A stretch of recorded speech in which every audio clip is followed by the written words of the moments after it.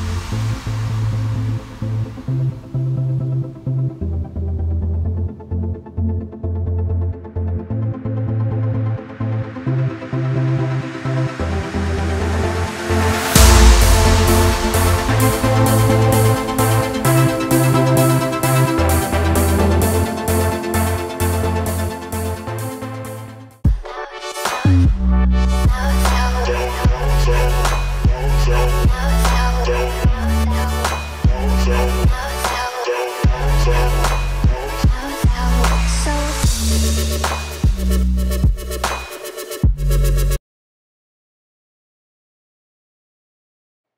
equestrians, it's Claire Eventing here, and today I'm doing a little transformation video for you guys. So this is Owen. I bought him in January of 2018.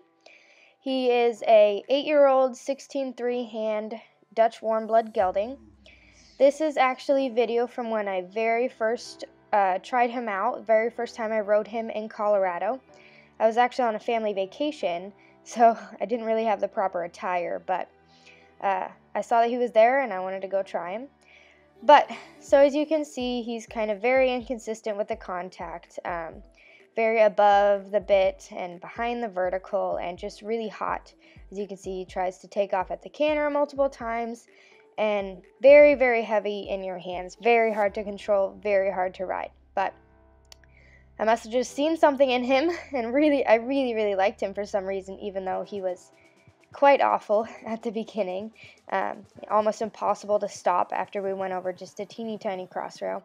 But he loved jumping, and I, I just loved him to death. And he, he had such a good brain. He just, he was just a little hot, and I could tell there were a lot of things that we just needed to completely start over with, as he, he just didn't have much, much flat work and much groundwork, and we kind of just needed to start over from the beginning. But like I said, I guess I just saw something special in him because I loved him to death and I bought him next thing. so, this was my very first ride on him at home, my very first lesson on him. And as you can see, he's very inconsistent in the bridle, um, not really understanding contact. And what you can't tell is how heavy he is. Um, I had my reins bridged just to be able to try and keep a consistent contact and he was very, very tiring to ride. I had to take so many breaks because of how exhausted I would be because he has such a huge canter stride and such a huge trot. So, as you can see here, his canter is very large and he can't really hold himself round or collected um, way back when. So, he was very, very hard to keep from just sticking his head up to the sky and running. As you can see, I was doing a lot of uh, check and releases and half halts to just try and get him to come back to me and releasing slightly just so he can see that he can have that that little bit of freedom. Um, he had some disagreements as he would try to run and did not like when I was holding him holding him back. He just wanted to stick his head up to the sky and run. And he was a very, very strong horse, so he could do it my trainer and I would have to take turns riding him in my lessons because of just how exhausted you would get. Your arms would get tired, your abs, your legs would be so sore. And he had some some little little issues in the beginning, as you saw a little rear there. Um, he just was so he's so sensitive. Um, so back in February of 2018, I sent him off to surgery to get a small bone chip in his fetlock removed. I bought him knowing that he had this and knowing he would need the surgery, so this set us back quite a bit. I think it it was about 4 months recovery, I think. But the surgery went really well and he recovered super awesome, but that was a, a major setback in our um, in our riding journey. But he needed it to happen, and you know, I was going to do anything I could do to keep him happy and healthy and comfortable. I was definitely not going to jeopardize him just to ride. So, then, after four months of recovery, I slowly started to be able to ride him again, and it was very difficult bringing him back into work. He's a very hot horse by nature, and we were just trying to get him to stay calm while I slowly brought him back into work, and he wasn't a huge fan of that. As you can see here, he just he wants to go and I wouldn't let him go and so he would kind of get upset and throw a buck in there. But, you know, I didn't want him to hurt himself again as slowly bringing a horse into work back into work to keep them from re-injuring themselves. So, that was rough and that took quite a while to to get him to that point.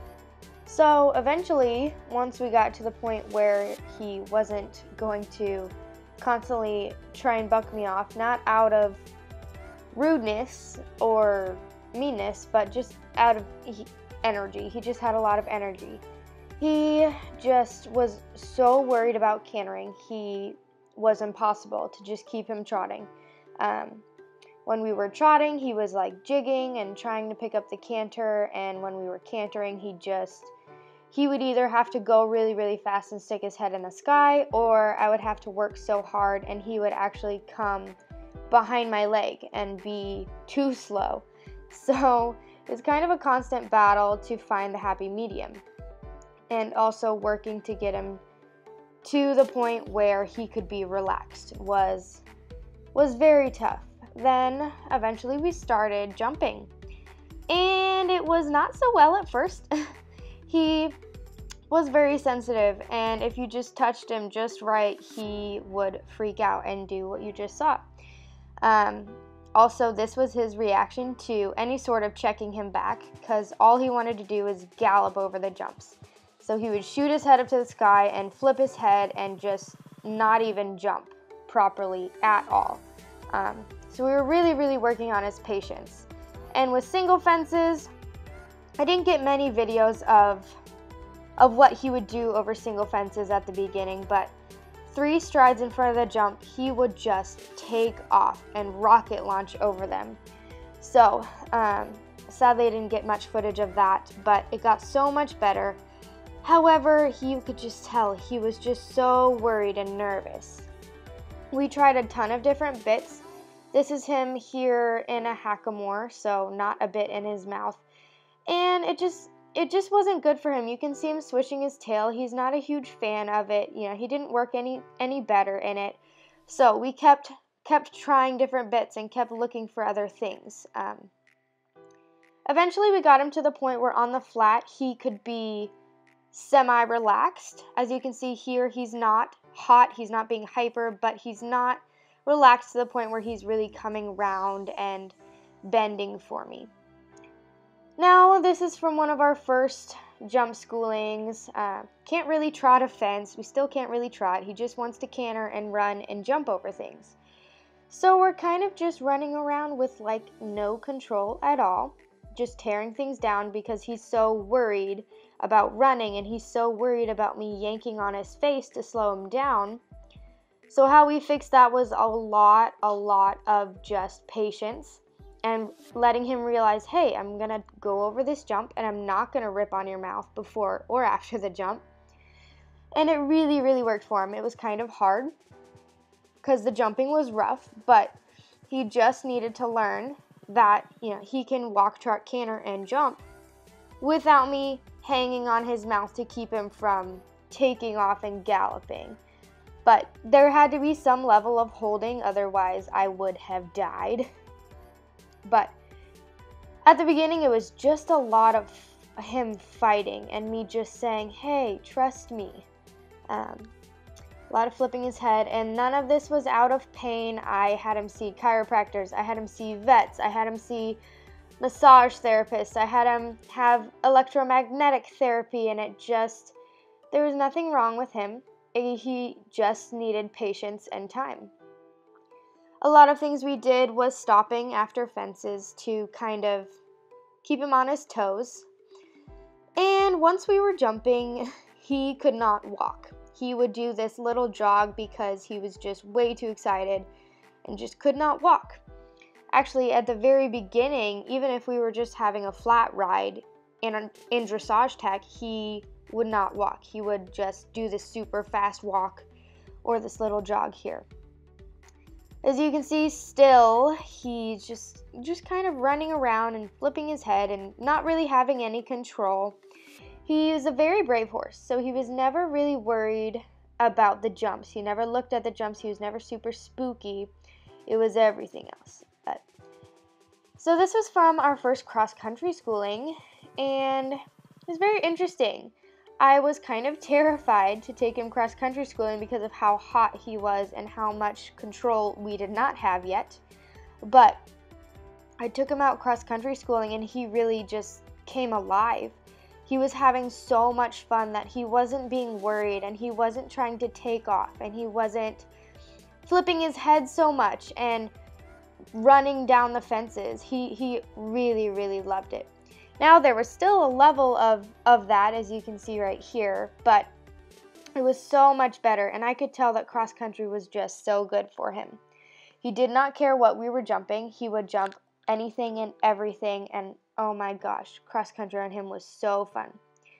He still had moments where he would get a little hyper. Right there, he just he just kind of had a little tantrum where he just he just had so much energy. But this is from our most recent schooling and he's really got the banks figured out and we're starting to jump some bigger fences and his jump form is really improving as before he would just mow down the fences and not lift his knees and sit back at all.